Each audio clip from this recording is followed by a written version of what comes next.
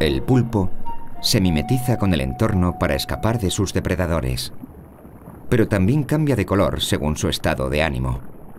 Azul si está excitado, pálido si siente miedo y rojizo cuando se enfurece.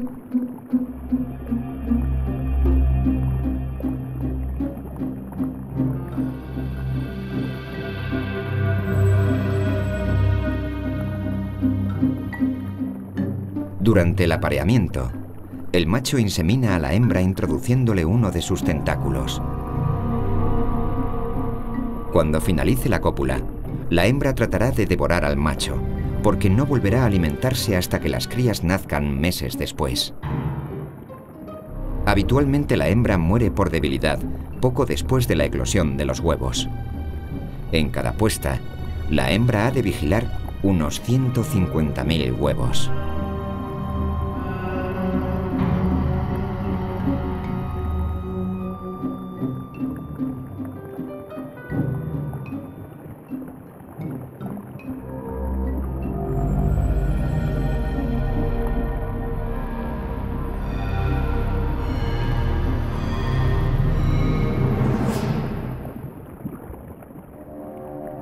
El pulpo es un animal nocturno.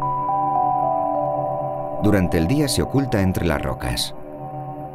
Si no encuentra refugio, puede construirlo él mismo apilando rocas del fondo. También es frecuente que se cobije en el coral y trate de bloquear la entrada.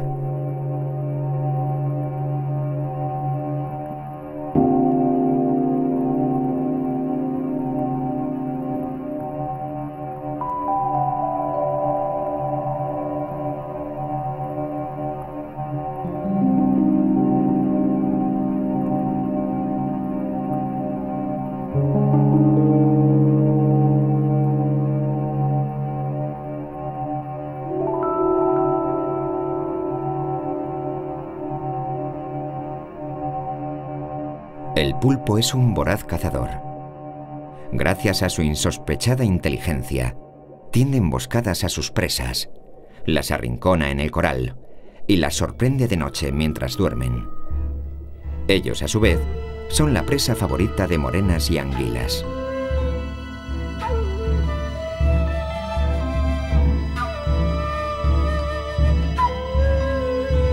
La elasticidad del pulpo es prodigiosa puede introducir sus tentáculos por los resquicios más pequeños en busca de alimento.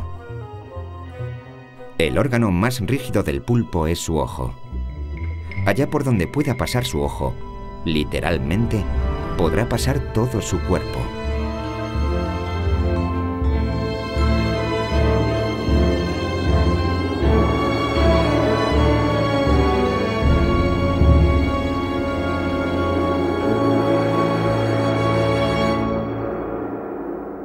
Una de las claves de la supervivencia de las especies es la adaptación al medio. En el pulpo es perfecta. Mimetismo, elasticidad, chorros de tinta para espantar a sus depredadores. Pero su más formidable adaptación es la inteligencia. No solo puede identificar colores y formas, sino también asociar esos colores y formas con significados y recordarlos durante años.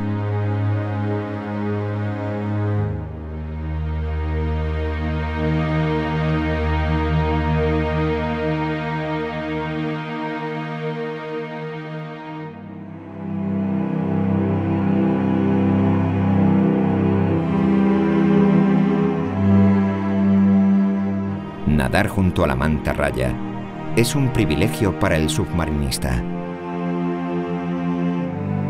Es como nadar junto a uno de los colosos del océano. La manta raya o manta gigante puede llegar a medir más de 8 metros de envergadura y 1.400 kilos de peso.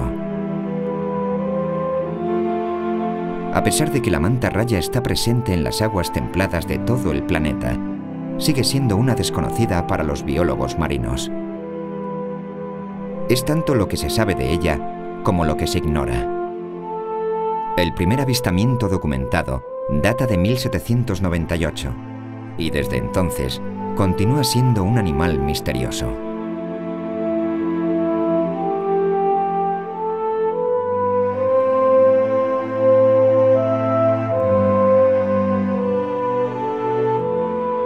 Hasta fechas recientes, no se supo que la mantarraya pertenecía a la familia de los tiburones.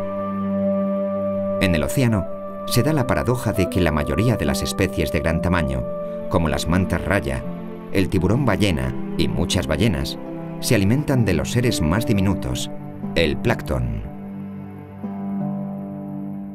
La manta raya completa su dieta con peces pequeños y calamares.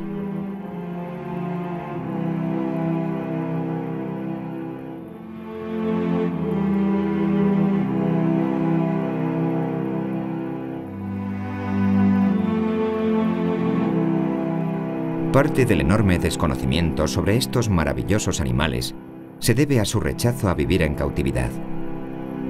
No es fácil que un acuario pueda albergar piscinas suficientemente grandes. Cuando lo han hecho, la mantarraya se niega a alimentarse y muere a los pocos días. La pesca con arpón ha diezmado su población en muchos lugares. Se desconoce su población exacta por lo que no puede afirmarse que esté en peligro de extinción. Aún así, se ha catalogado como especie vulnerable.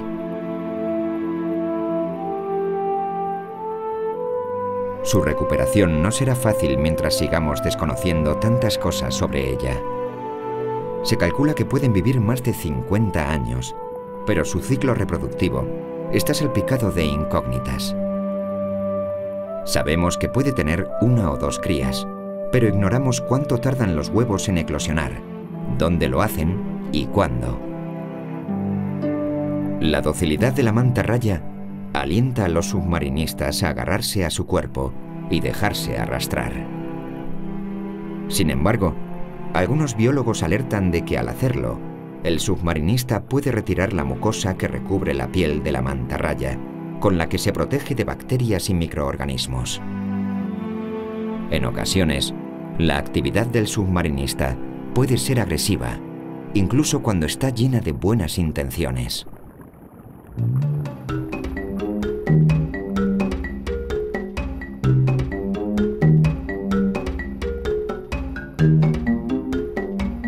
Pero el ser humano no suele contentarse con la contemplación inmediatamente surge el impulso de tocar.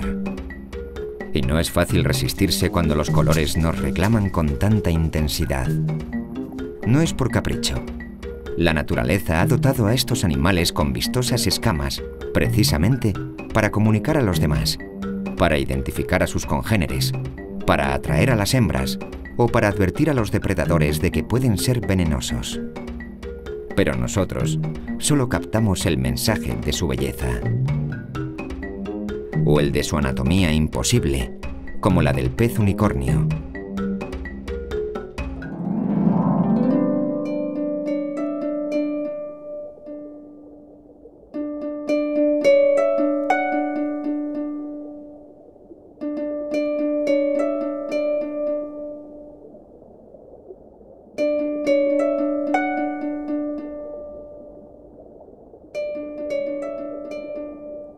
De nuestras asignaturas pendientes con la naturaleza es aprender a disfrutar sin interferir.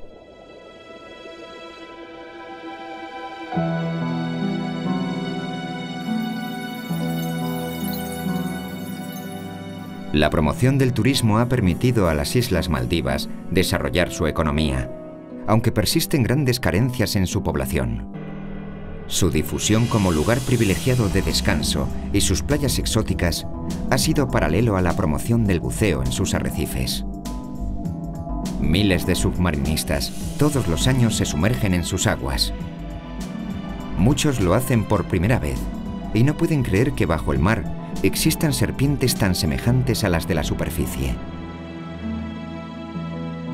Igual que la pesca abusiva puede deteriorar nuestros mares para siempre, el submarinismo masivo puede ser tan dañino que privemos a los submarinistas que vengan después de un mundo fascinante, lleno de vida.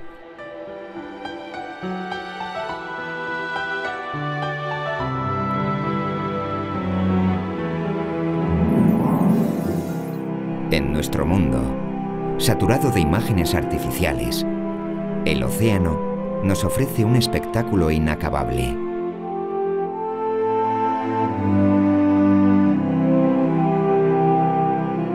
Los arrecifes coralinos cobijan miles de especies, como si de jungla sumergida se tratase.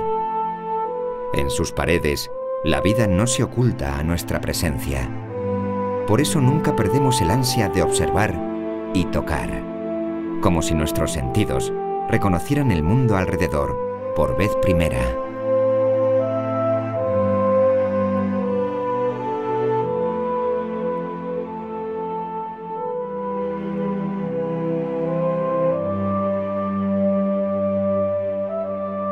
Las Islas Maldivas, la mayoría de los turistas pensaba que al regresar de sus vacaciones, sus mejores recuerdos serían los de playas cristalinas, a los pies de palmeras iluminadas por el atardecer.